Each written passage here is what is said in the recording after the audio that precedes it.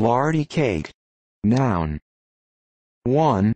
A traditional, richly spiced type of bread originating in southwest England made with rendered lard, flour, sugar, spices, currants and raisins.